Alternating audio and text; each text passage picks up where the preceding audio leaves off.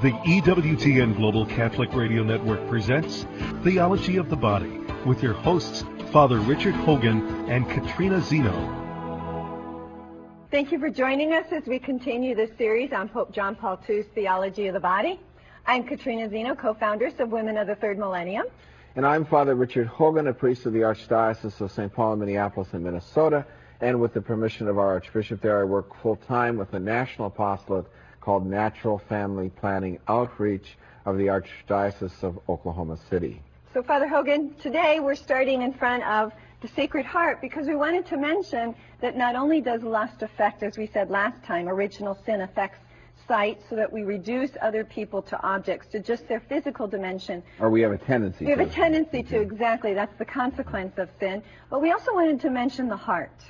Right. We were talking last time, as you remember quite well, I'm sure, about original sin and its effects, how it clouded the mind, darkened the will, and disrupted the body. So we're now disintegrated. It's very difficult for us to act in accordance with that value system. And one of those problems, one of the things that's really hard for us, is that we look at um, men or women, whichever sex we are, the opposite sex, as people to be possessed or taken because of these inordinate desires that we find it difficult to control. But this isn't just a gaze with the bodily eyes. This is a gaze that comes from the interior. What happens is that the, the physical desires press the will, and the will goes along with it sometimes. That's why it's difficult to control. And we actually decide in an interior way to look at someone in an inappropriate way. It's an interior gaze that comes right from the heart. That's why the Lord says it at the one passage that the some of these sins come from deep within a man. It's what comes out of men, which was very hard for the apostles to understand because the whole Jewish tradition was whatever you take in, like the food that you shouldn't eat and so forth. But the Lord turned that around and said, no, it's from the inside out. They come from the deep recesses of the human heart. So these looks that are inappropriate are from the heart, not just from the body or from the physical eyes. And that's why Jesus said, whoever looks at a woman lustfully has already committed adultery with her in Because his he's heart. decided he wants to Right. do that within his will. In other words, a man looks at a woman, could be even his wife, and says, You're there for me. Whereas every single human person is there for himself or herself, not as an object to be taken or possessed. I do not own you, I do not possess you, and I should not take you. And while that's a tendency because of this disorder within us stemming from original sin, it still is contrary to the nuptial meaning of the body that we talked about. This uh, meaning that we all know interiorly that the body is to be a gift, that my body is to be a gift to you and to everyone else, and yours to, to me and to everyone else. Now, of course, in marriage, it's a very specific thing with, Right. with the two people. And we'll talk we're not about talking that. that, way Right. right now, Right, we'll- obviously. We'll, talk about that eventually, but I think this is so important, especially because I know so many listeners and, and viewers, for instance, are widows or perhaps people who are single. It's so easy to hear what we're saying and think, well, that doesn't apply to me because I'm not married. And that's why, although it makes me look, look a little silly, I like this idea, you know, that I'm a gift. Mm-hmm. That um, no matter who I am, what state I find myself, even if I'm a widow, my presence in the world is still as a gift because I still have the nuptial meaning of my body. and it's to be and the gift is to be expressed in and through the body but the reason why we are to be a gift is we're created like god and created to act as he acts and then express that in and through the body Right, exactly. But let's talk about who we are redeemed in Christ, because that's really the good news. Right, You know, exactly, the yeah. last show and um, really is kind of the bad news about the man of lust and how we can be tempted to build a civilization of use. I rather than the civilization of love Right, and right the Pope has always said, you know, it's a civilization of love and a culture of life that he exhorts us to build, but we can't do that without the redemption of Christ. he, christ did not accuse the human person he's not saying you're doing this and you better stop that's not the sense of christ at all. Well, it can feel that way sometimes. It can. He, the Lord is appealing, Mm-hmm. and He's saying, "Look now, you don't have to exist in this disordered state. You're called to something better. You know you're called to something better because you retain this understanding that you are to be a gift, even in and through your body. What the Pope calls the nuptial meaning. That value system is still there. Christ appeals to that, And you might respond and say, well, I can't do that. I've got this problem called original sin. I'm crippled. It's not possible for me to function that way. And Christ says, oh, yes, it is because of my grace. That's What- wonderful good What St. Paul said, you know, my grace is sufficient for you, or what the Lord said to St. Paul, my grace is sufficient for you. Paul was complaining to the Lord that he had this wound. We're not sure what it was, whether it was a temptation, whether it was a physical disability of some kind, whether it was an emotional or psychological problem. We're not sure what it was. But Paul was praying and saying, Lord, take this away from me so I can do your work. And the Lord responded, my grace is sufficient. And so the, the Lord is appealing, but he's not leaving us crippled. He's giving us the grace that makes it possible. Not necessarily easy, but possible. Right. It would have been easy in the Garden of Eden. Right. And so now to do this, to tease out this understanding of the redemption of the body, that's really what he's saying. We're going to talk about the body being redeemed in Christ. Let me pull something else out here. another prop I still have another prop. This is my ping pong paddle, my ping pong ball. Too bad I didn't bring two of them. Then we could have hit the ball back and forth. But when I, I, I read this section over and over and over again, trying to understand what the Pope was doing, because it's different. In the, the other sections, he very often just takes one scripture and uses that as a springboard. But in this section, I call it Pauline ping pong, because what the Pope is doing is he's ping-ponging back and forth from eight different scriptures in Paul. So it can get a little confusing sometimes, but I think if you remember, his purpose is to help us understand how grace operates actually in the body. You know, we're body, soul persons. This is not just about the soul getting to heaven. This is about the body being redeemed and that body and that spirit being reconnected even on earth now. It's to reconstitute what was broken. Uh, if by original sin there was a constitutive break within the human person, so that the mind and will no longer uh, was the, the, the thoughts of the mind and the choices of the will were not expressed by the body the way they should be. we only will be fully restored in the resurrection Uh, of the body last- at the end of time. right. But but that doesn't mean we have to live under the subject of sin now, does No, it? right, exactly. No, that's what grace does. And grace, of course, is in the soul. It's a it's a, a uh, form of the soul, so to speak. But the, the the union of soul and body, because of grace, is more together than it would be without grace. And so, with grace, then it is possible for the mind and will to know the truth and to love as as As the God will loves. should, Mhm. and then express that into the body. Pope has a beautiful phrase once again. He calls it purity of heart. Exactly. That yeah. that's what we're called to recapture is this purity of heart because purity leads to freedom. Now, in our culture, we have a real misunderstanding of freedom. Oh, I don't know. Don't you like what, what the Supreme Court says about freedom? Freedom in, in, in our culture in the United States today, and whenever anybody thinks of the U.S., and I think many people around the world do on occasion, um, freedom means that I, as a person, can do anything I wish, anytime I want, with no holes barred, no restrictions whatsoever, no penalties for whatever I do, or at least not very many. And this idea of freedom is not exactly the way uh, the theologians of the church or the Gospels have thought about it. Nor Christ. Nor Christ. No, right? it yeah. isn't. So this is a very important topic, this topic of freedom. So please stay with us, and when we return, we'll continue talking about true freedom and false freedom.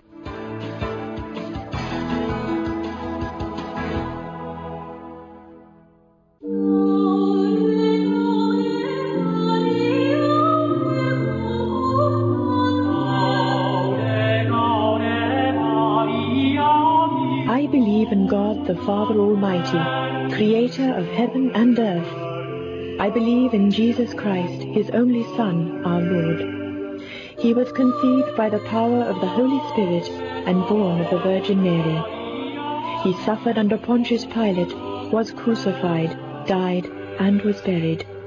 He descended to the dead. On the third day he rose again. He ascended into heaven and is seated at the right hand of the Father. He will come again to judge the living and the dead. I believe in the Holy Spirit, the Holy Catholic Church, the communion of saints, the forgiveness of sins, the resurrection of the body, and life everlasting. Amen.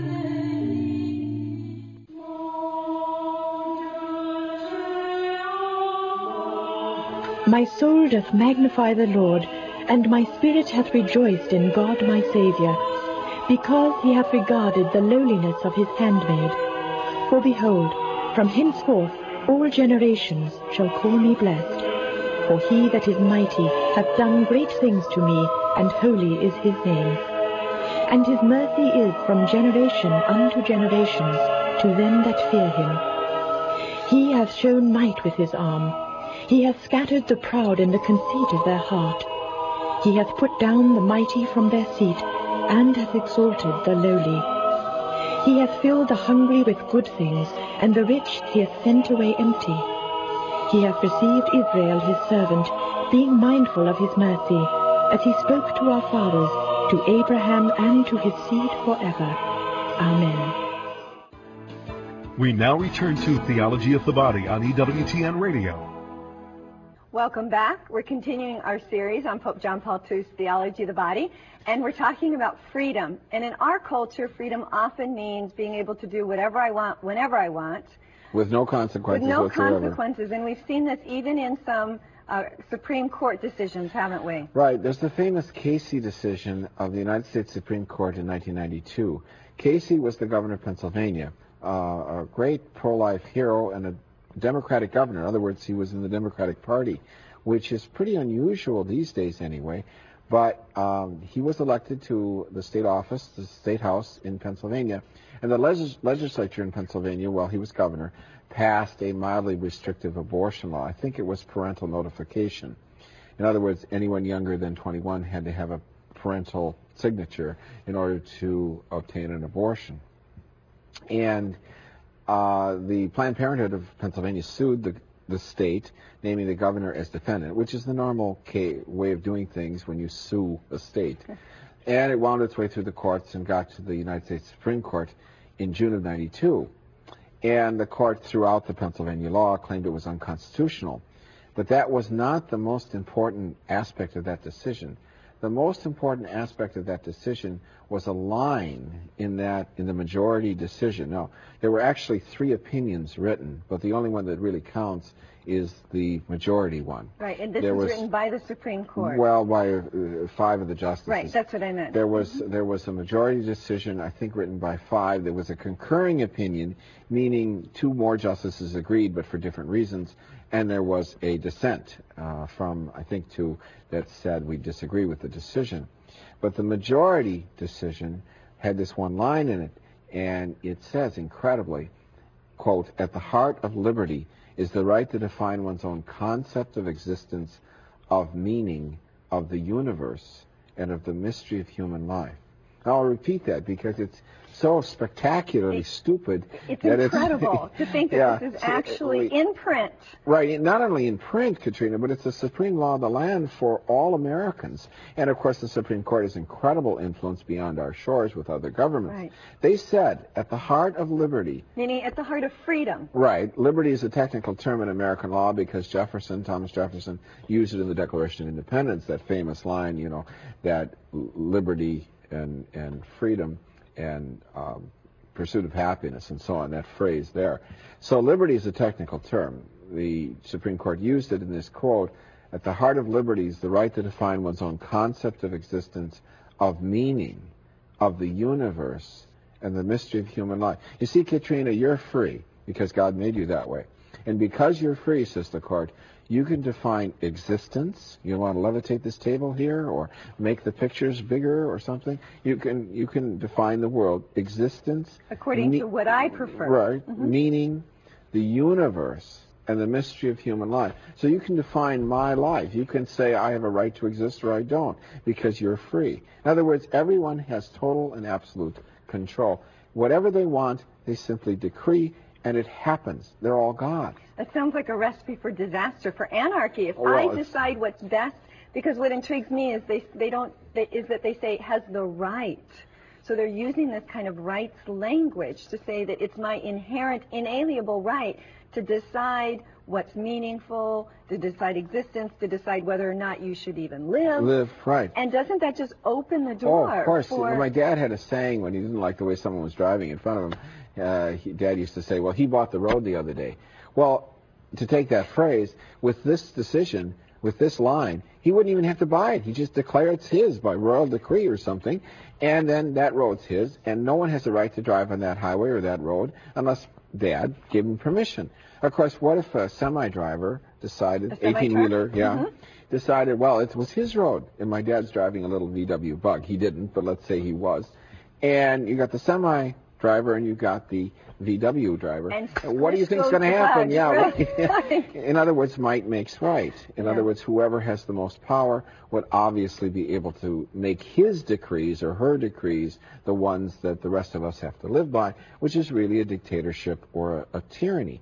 And it actually ends up taking away the very thing they're trying to defend because it it, it takes away freedom. Now, one has to qualify that a bit. Mm-hmm.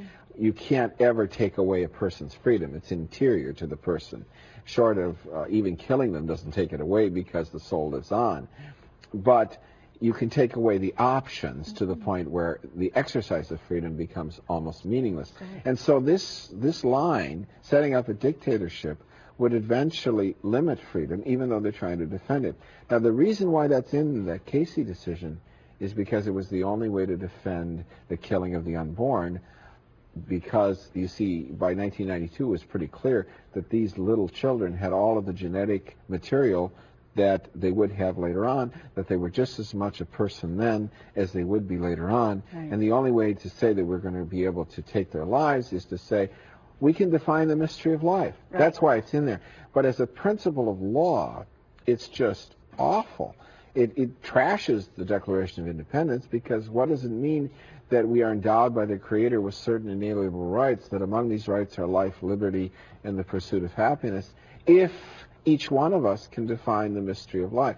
So it, it eliminates any kind of understanding in any normal reading of it of the Declaration of Independence. And even worse, even worse, is that this line actually buys the lies of Satan in the Garden of Eden. You know, you'd think that the Supreme Court justices would be more informed than this, but they bought literally the oldest lie in the book. Which is, You can know good and evil. You can have it your way. and decide it for myself. So, yeah, if you want you want the those those paintings to levitate, just say so. If you want the stones to be bread, just say so. If you want to eat chocolate all day without ever putting on a pound, ever running a tooth, ever um, getting running out, ever getting full, just say so. Well, you know, once again, I think John Paul II has very well diagnosed what's going on because in his um, encyclical, The Splendor of Truth, he has a great line that I'd like to quote.